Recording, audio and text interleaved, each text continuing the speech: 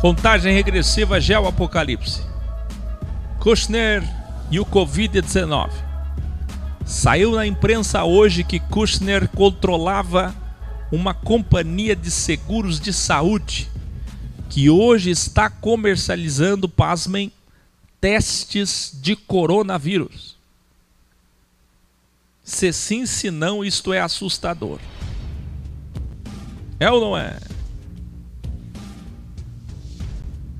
E antes que alguém implique com as imagens, esse vídeo é subdividido de um grau importante que nós estamos estudando sobre o Antigo Egito. Então procure para assistir também. Continuando a contagem regressiva, gospelão. Pastores oram e cantam com Bolsonaro, as muralhas ruirão. Enquanto isso, líderes se dividem sobre manter templos abertos ou fechados em meio à pandemia. E eu comento agora o que eu vou postar daqui a pouco no Instagram da Filosofia X sobre a convenção da Igreja do Evangelho Quadrangular aqui em Itajaí, aqui ao lado, com 8 mil pessoas. Vocês viram no nosso Instagram hoje que eu fiz uma transmissão, publiquei, não haverá escola em Balneário Camboriú sábado, não haverá em Criciúma, não haverá mais Chapecó, cancelei passagem de avião. Aliás, se você quiser voar para qualquer parte do mundo agora você pode. Se eu quisesse ir para Jerusalém agora, primeiro que não entra, né? Não tira visto que está proibido entrar qualquer pessoa. Mas se quisesse ir para qualquer lugar agora, vamos para o Egito, vamos. Passagem nunca esteve tão em conta. Eu vi passagem de 500 reais ida e volta para outros países. Mas quem é que vai querer ir, né? Com o Covid-19. Nunca foi tão fácil cancelar a passagem, conseguir crédito, mesmo sendo passagem promocional. Eu vi tanta gente do evangelho quadrangular aqui, e nós temos, pelo menos, eu conheço pelo menos dois pastores da quadrangular que me assistem, que acompanham, que inclusive frequentam nossas aulas, que me falaram que a convenção deles é feita sempre aqui em Camboriú.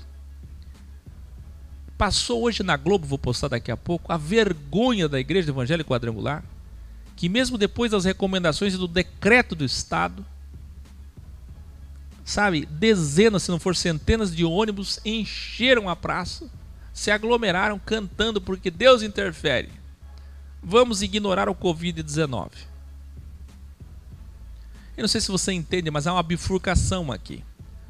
Quando eles dizem não vai ter culto, nós refutamos eles. Cadê o Deus que interfere? Porque eles dizem que Deus privilegia, poupa, interfere. Eu nunca vi um juiz que interfere. Se o juiz interfere, não pode ser juiz. Mas isso não é ensinado em nenhuma teologia. Porque isso esvaziaria as igrejas. E do outro lado, se eles decidem se reunir como Silas Malafaia, como fez a Igreja Evangélica Quadrangular Itajaí, eles também estão errados porque diz respeito às outras pessoas, como aconteceu na França e na Coreia, onde evangélicos estão espalhando. O que, que eu começo a ver, vislumbrar? Vocês começam a ver comigo o que, que vai acabar acontecendo? As igrejas evangélicas estão sendo responsáveis pela morte de muita gente. Vocês percebem? Os mais teimosos, rebeldes, eles são os rebeldes.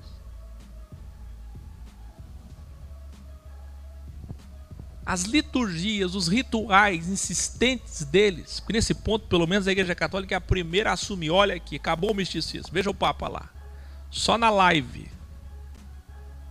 A nossa audiência nunca esteve tão alta porque as pessoas estão todas em casa, do streaming. Só na live. E os pastores insistindo, metade deles, em enfrentar o vírus com oração, jejum. E eles vão ser responsáveis pela continuação dessa desgraça. Vê o que, que faz a ignorância do gospelão. O acordo do Covid-19 e o plano de paz 20. Há menos de duas semanas, vocês devem lembrar, Netanyahu só sabia falar uma coisa: ampliar assentamentos e anexar a Cisjordânia. Sim ou não? Com o Covid-19, as reuniões agora só falam em pandemia. E vai ser assim até metade do ano, pelo menos. O acordo do século vai sair pelo caos ou vai ter de esperar um pouco mais? Gantz, enquanto isso, terá um mês para formar um governo, que com certeza também não conseguirá, e pelo jeito Se não acontecer um milagre extraordinário, uma coisa estranha, talvez seja por isso o caos, vem aí quarta eleição em Israel. E isso tudo é muito estranho. As bolsas regem. Como falei no vídeo, quem controla as bolsas, você assistiu? Um dos donos de Wall Street, do capital, do capitalismo, disse ao Trump hoje: Senhor presidente, desliga os Estados Unidos pelos próximos 30, 30 dias e feche as fronteiras. Diga a todos os americanos que você está nos colocando em férias prolongadas em casa com a família. Mantenha apenas os serviços essenciais abertos. Paguem salários mínimos até reabrirmos. Pasmem! O Trump também tem o seu ou os seus Paulo Guedes.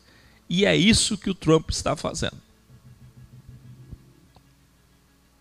Um dos líderes de Wall Street, das bolsas de Nova York, recomendou ao Trump isso. E o que, que o Trump está fazendo? Isso. Olha que incrível.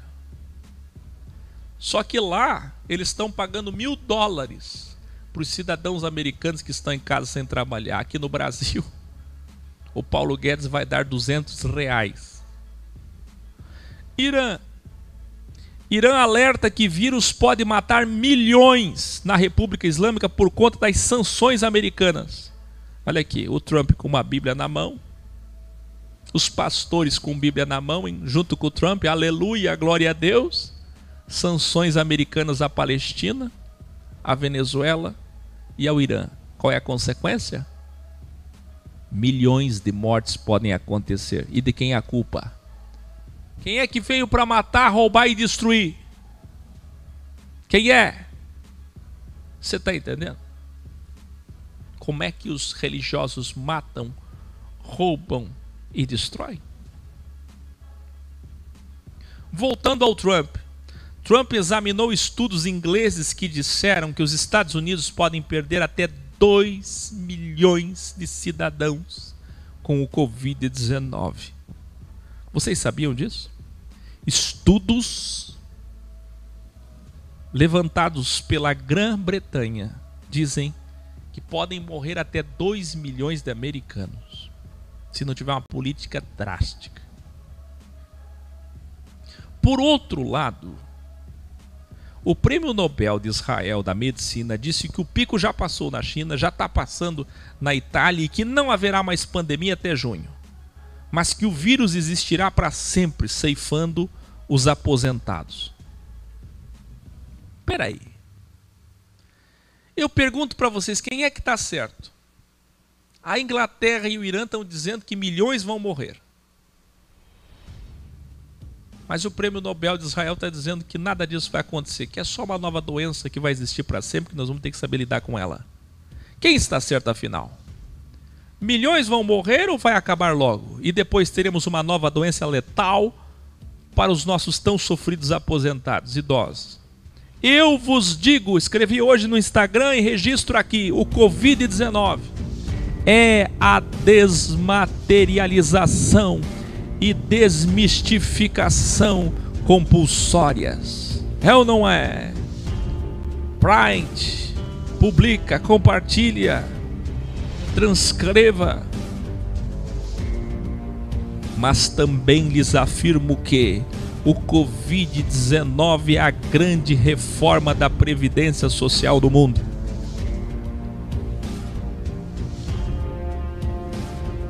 Se o problema da previdência social, da reforma do INSS é tão grande nos Estados Unidos, no Brasil, na França, no mundo inteiro, tá aí a solução. Um gripe que, uma gripe que mata 3 a 9 vezes mais que a gripe comum e que ceifa a vida de quem? 8 mil pessoas morreram, eu vi hoje. Estatísticas novas. Sabe qual é a média de vida das pessoas que morreram? Acima de 60 anos, a maioria acima de 80 anos. Muito apoio com o gospelão que ele fez com o Marco Feliciano. Aqui em Balneário Camboriú foi um escândalo, das 8 às 9 da noite. E olha que Balneário Camboriú é pró-sionismo. Luciano Hang, Bolsonaro, aqui foi um escândalo. Uma gritaria absurda contra o Bolsonaro e o Feliciano. Eu dei uma olhada na temperatura da internet, a coisa está terrível. Pessoas que votaram no Bolsonaro estão decepcionadas com a atitude dele frente ao coronavírus. Por quê? Porque está tudo fechado.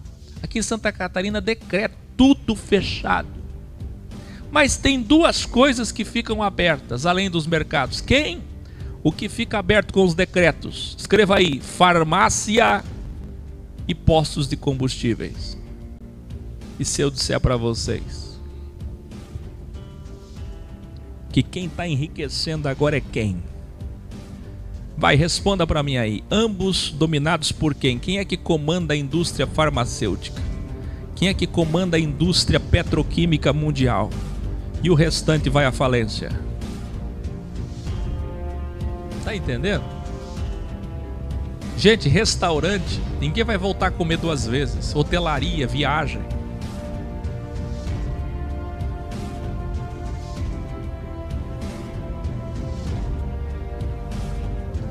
Black Mirror israelense.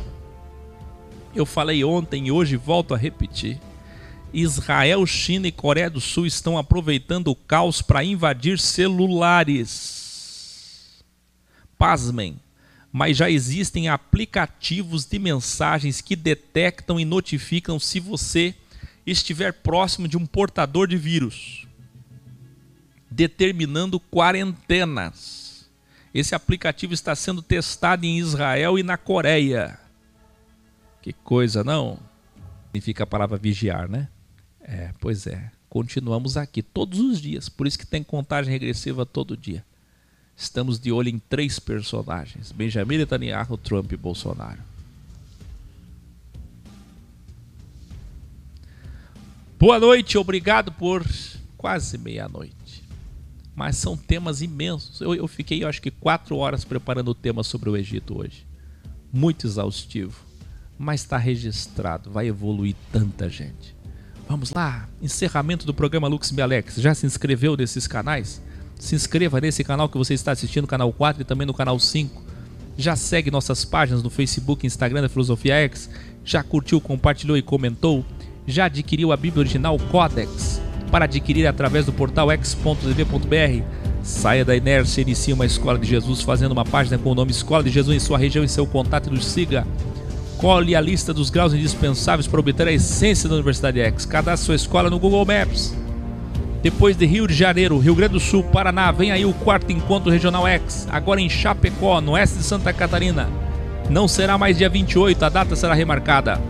Também está remarcado a próxima escola aqui em Balneário, e a próxima escola em Criciúma. Avisaremos assim que passar os decretos. No último final de semana de abril, 25 e 26, encontro em BH, Minas Gerais. Não se preocupem em comprar passagens, podem cancelar tranquilamente. Ainda está marcada essa data, mas nós vamos ver como é que estará o decreto nesse tempo, o decreto do Estado de Minas Gerais em relação ao Covid-19. Mesma coisa para maio aqui em Balneário Camboriú, mas o que realmente importa é que vocês completam boa noite, boa noite, boa noite.